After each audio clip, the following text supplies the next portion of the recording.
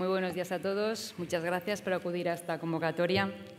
Como saben, acaba de finalizar la reunión del presidente de la Junta de Castilla y León con los cuatro rectores que me acompaña el rector de Salamanca, de Valladolid, de León, nos acompaña el vicerrector de Burgos, porque el rector de Burgos está hoy por problemas de salud que no ha podido acompañarnos y entonces le ha sustituido el vicerrector que esperemos que se recupere pronto. Como digo, es una reunión que había ya prometido el presidente de la Junta, que tuvo lugar esa petición el 18 de septiembre y que hoy se enmarca dentro de la política de la Junta de Castilla y León y del presidente a su cabeza de cercanía y de estrecha colaboración con la sociedad de Castilla y León. Ha sido una reunión muy productiva, muy fructífera y lo primero que quiero decir es que se ha logrado el consenso al que manifestó el presidente de la Junta y al que se comprometió personalmente, de un consenso entre todas las universidades públicas a las que quiero agradecer siempre la implicación también para llegar a buen puerto estas nuevas, actuaciones en materia de universidades. Respecto a los asuntos que se han abordado, el primero de ellos respecto a la LOSU, como saben es una ley estatal que conlleva una importante implicación presupuestaria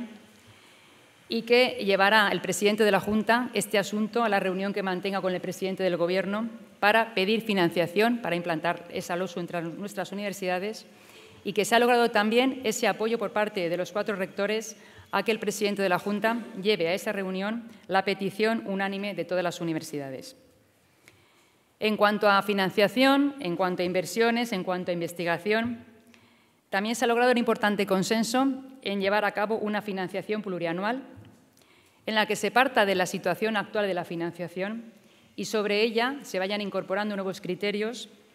para abordar las peticiones que demandan las universidades. Se ha acordado sobre todo que ya haya el plan de infraestructuras de esos 10 millones anuales, que se aborden también los correspondientes atrasos que estaban respecto al plan de infraestructuras. Y respecto de la investigación, es un aspecto en el que todas las universidades y la Junta estamos muy eh, alineados en los planteamientos, que seguiremos avanzando en las convocatorias de investigación que tenemos, mejorando nuevos aspectos y abordando también un aspecto trascendental como es la carrera investigadora. Respecto a las nuevas titulaciones, como digo, se ha llegado a un importante consenso con todas las universidades, un importante consenso de avanzar en las ciencias de la salud y vamos a comenzar a trabajar ya en los planes de estudio del grado de medicina de Burgos y de León para que alcancen una viabilidad técnica y se puedan implantar con un horizonte que nos hemos planteado del curso 26-27. También dentro de los planes de estudio abordar farmacia para la Universidad de Valladolid y el grado de veterinaria para la Universidad de Salamanca. Eso teniendo en cuenta también que se han abordado actuaciones para llevar a cabo ya de forma inmediata, como la implantación de la matemática aplicada en Burgos o el grado de biotecnología en Valladolid. Así, cada universidad va a poder impulsar aquello que mejor refleja sus fortalezas. Ha sido un gran acuerdo, un gran consenso, fruto de la colaboración de todos, con importantes cuestiones